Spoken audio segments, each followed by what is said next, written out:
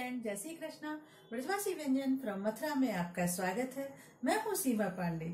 आज मैं एक नई स्पेशल रेसिपी शेयर करने वाली हूँ। आज हम घेवर बनाएँगे। ये बच्चों को, बड़ों को सबको बहुत पसंद आते हैं और देखने में भी काफ़ी अच्छे लगते हैं। आप इनको पहले बना करके रख सकते हैं। उसके बाद आप, जब भी आपके गेस्ट आए, मेहमान आए तो आप सर्व कर सकते हैं। और घेवर बनाने के लिए मैंने एक कप मैदा लिया है। और आधा कप दूध लिया है, ये ठंडा दूध है, कुछ बर्फ़ के पीसेस हैं, ये बड़ा चम्मच घी है, आप वेजिटेबल घी भी ले सकते हैं, मैंने देसी घी लिया है गाय का, और एक चम्मच बेसन है, एक चम्मच नींबू का रस है। सबसे पहले हम घेवर बनाने के लिए घेवर का घोल बनाएँगे पेस्ट बनाएँगे, उसके लिए मैं सबसे पहले ये घी लेती हूँ, एक बड़ा सा बाउल में घी लेंगे हम।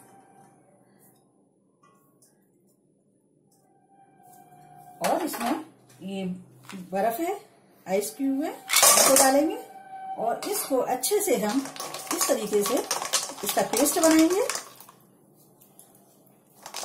स्मूथ पेस्ट बनाना है। देखिए इस तरीके से।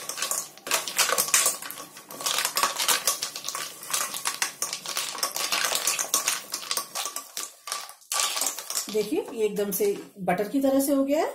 अब मैं इन आइस क्यूबों को निकाल देती हूँ।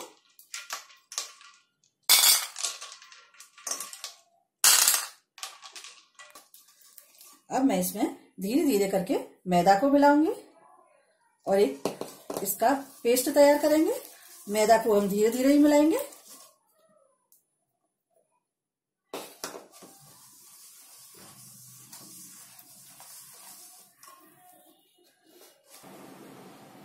हम इस तरीके से सारी मैदा को मिला लेंगे। और हमने ये ठंडा पानी लिया है, फ्रिज का पानी लिया है। और ठंडे पानी को धीरे धीरे डाल करके इस तरीके से घोलेंगे इसमें लम्स वगैरह नहीं पड़ने चाहिए। हमें धीरे धीरे पानी डालना है।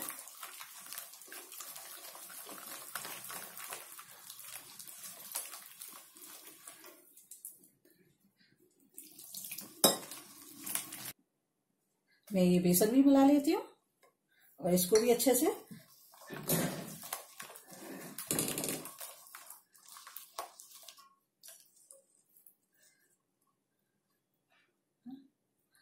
मैं इस दूध को भी मिला लेती हूँ। दूध भी हमको ठंडा ही लेना है। फ्रिज का एकदम से ठंडा दूध है। थोड़ा सा और पानी मिलाएँगे इसमें।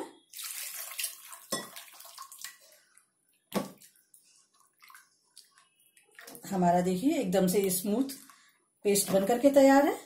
घेवर के लिए हमको जो घोल लेना है, बैटर लेना है, पतला ही लेना है इस तरीके से। ज़्यादा गाढ़ा नहीं लेना है। नहीं तो हमारी जाली घेवर की अच्छी नहीं बनेगी। देखिए, इस तरीके से। देखिए, हमारा घोल तैयार हो गया है। अब मैं इसमें नींबू का रस मिला देती हूँ और अच्छे से मिक्स करती हूँ। मैं घेवर इस तरीके की रिंग से बनाऊँगी। आप चाहो तो बाज़ार में मोल्ड भी मिलता है। किसी भी बर्तन वाले की दुकान पर कहीं पर भी आसानी से मिल जाता है, आप उससे भी बना सकते हैं। आज मैं इस रिंग से बनाऊँगी। और मैंने कढ़ाई में तेल लिया है और तेल को गर्म होने रख दिया है। हमको तेल तेज गर्म चाहिए और मैं इस रिंग को भी रख देती हूँ इसमें बीच में। और आप चाहो तो पेस्ट को इस तरीके से बोतल में भी भर सकते हैं, जिससे आप आसानी से डाल सके। मैं स्पून से डालूँगी और थोड़ा सा ध्यान रखना है, क्योंकि इसमें तेल ऊपर झाग के झाग आती है और ऊपर फैलता है। तो थोड़ा केयरफुली डालें, ऊपर से डालें। मैं अब स्टार्ट करती हूँ और थोड़ा थोड़ा ही हमको बैटर को डालना है। इस तरीके से।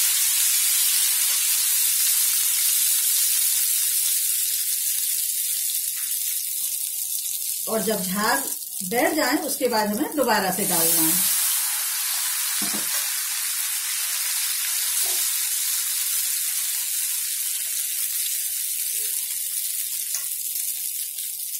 और इस तरीके से बीच में होल करते जाएँ, जिससे हम बैटर डाल सके। मैं दोबारा से बैटर डालती हूँ।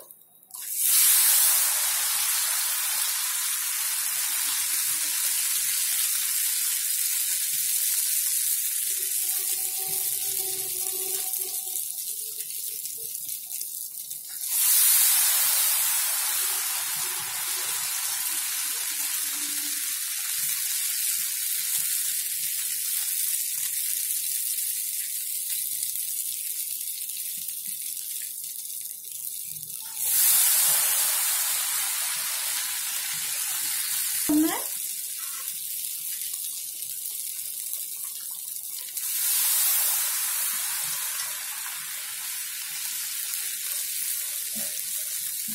हम इस तरीके से फोल्ड करते जाएँगे।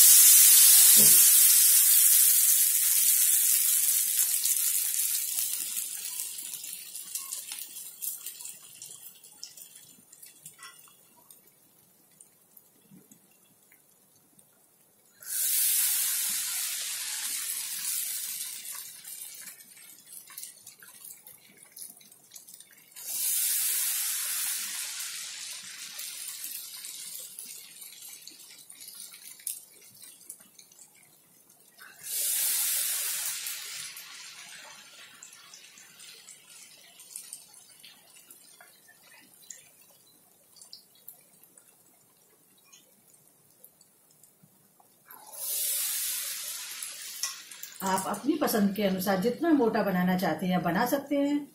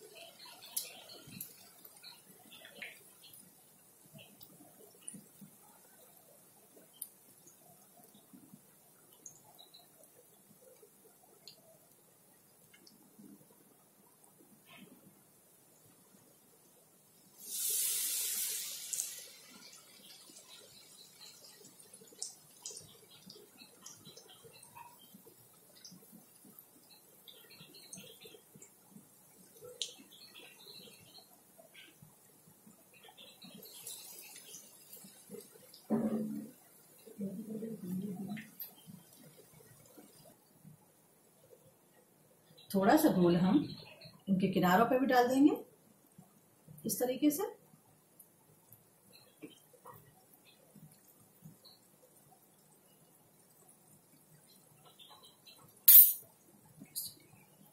अब थोड़ा सा ऊपर से भी सीख जाए। इस तरीके से हम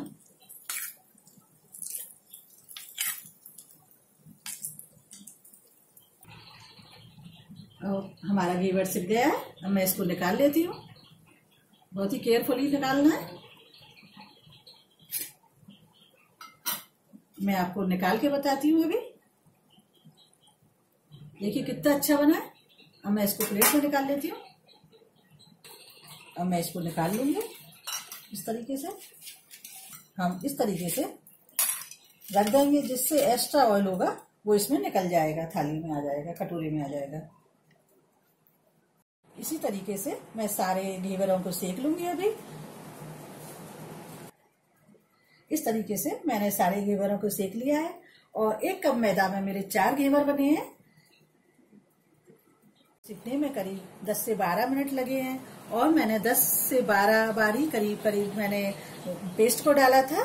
और इस तरीके से मेरे घेवर बनकर के तैयार हैं। अगर आपको मेरी वीडियो अच्छी लगी हो तो प्लीज़ लाइक कीजिए शेयर कीजिए। अगली वीडियो में मैं इनको पाक करूँगी डेकोरेट करूँगी। किस तरीके से करेंगे? आपको मेरी वीडियो अच्छी लगे तो प्लीज़ लाइक कीजिए शेयर कीजिए। मेरे चैनल को सब्सक्राइब ज़रूर कीजिए। फिर मिलते हैं नई रेसिपी के साथ। धन्यवाद।